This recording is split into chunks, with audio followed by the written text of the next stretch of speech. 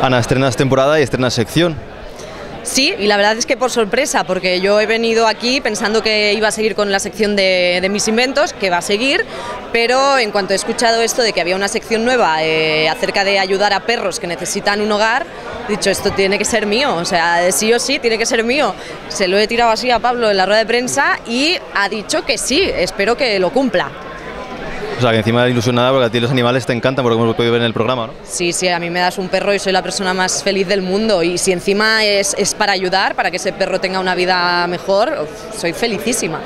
Si irás con tu sección de consejos, ¿de dónde sacas todos esos trucos que vemos en el programa? Hay mucha gente que me pregunta que de dónde los saco. Eh, ya he dicho varias veces que el mérito no es mío. Eh, aquí hay un equipo en el hormiguero muy grande que se encarga de eh, pensar inventos, fabricarlos, otros que obviamente buscan en Internet. Internet también es una fuente de, en la que pues, vemos inventos y los reproducimos aquí. Y nada, sin ellos no podría hacer nada, porque son ellos el que hacen el trabajo duro. Yo solo lo pongo aquí en práctica, en directo. El hormiguero es un programa en directo, es un programa muy complejo. Cuando te pones a hacer esos inventos, ¿alguna vez mm, te ha fallado y has dicho tierra, trágame? Muchas veces ha fallado. Muchas, sé que es un tópico, pero es la verdad, muchas veces en el ensayo te sale perfecto a la primera, que dices, ya no ensayo más porque me sale perfecto, y luego en directo, no sé por qué, pues la cosa no, no acaba de funcionar. Pero creo que también es un poco la magia del hormiguero, el hecho de que es directo y de que las cosas a veces no salen, como la vida misma. ¿Cuál ha sido el momento más tierra, trágame que has pasado en el programa? Momento tierra, trágame, eh, creo que ninguno. Bueno, hace, no sé si fue la temporada pasada o la anterior, eh, saltó una noticia incluso que se me abrió el botón de la camisa. Eh, entonces ese ha sido el momento más tierra, trágame, pero porque tampoco era muy consciente de que, que se me había visto. pero bueno, luego lo, lo vi y tampoco fue tan grave. De todos los invitados que han pasado por el programa, ¿con cuál te quedarías por la experiencia? Pues la verdad es que mm, con ninguno he tenido una mala experiencia, todos son encantadores. Sí que es verdad que me sorprendió mucho eh, Elijah Wood, pues porque es un chico súper cercano, súper cariñoso y, a priori no piensas eso de una estrella de Hollywood. Son prejuicios, que son tonterías, porque son personas como, como todos, pero me, me gustó mucho conocerle. ¿A quién te gustaría recibir en esta temporada?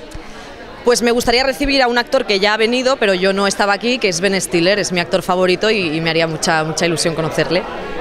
Este otoño viene para ti cargado de un montón de proyectos, porque además de El Hormiguero, tienes tu cara me suena mini, habéis grabado algo ya. ¿Qué, las, qué tal las, las primeras impresiones? Pues sí, estuvimos grabando parte de junio y todo el mes de julio, luego hicimos el parón de agosto porque los niños también merecen vacaciones y ahora volvemos a, grabar y las impresiones son brutales. Yo creo que es un programa que, va, que va a encantar, tiene todo lo bueno del formato de, adultos, pero además se añade pues esa inocencia de, los niños y los vínculos que se crean entre ellos. Yo creo que, va a gustar mucho. No puedo contar más, es todo muy, muy secreto por, por el momento, pero tengo muchas ganas de que lo veáis ya. Y se estrena también Torrente 5. ¿Qué tal la experiencia como actriz en la película? Se estrena el 3 de octubre. ¿eh? Eh, muy bien. Eh, yo cuando, bueno, yo coincidí con Santiago en Tu cara me suena y yo todos los días le iba diciendo, dame un papelillo, aunque sea de fondo ahí tomando un café que no se me vea pero se lo decía así medio de risa y cuando me llamó para ofrecerme un papel dije, wow, pero es que yo no soy actriz, no, no, no sé. Eh, yo no sé cómo lo he hecho, yo siempre digo eso, que no soy actriz, que, que me, me, da mucho respeto esa, esa, profesión, pero Santiago me ha ayudado mucho y, todo el, el, equipo también. ¿Te animarías a otro proyecto como actriz después de esta experiencia en Torrente? Sí, pero lo he dicho muchas veces y, no encuentro el momento, que es eh, el de estudiar, el de formarme como actriz, el de hacer interpretación, algo, unas bases sobre las que yo pueda ir más segura que no presentarme ahí y venga, vamos a actuar. Es algo que tengo pendiente.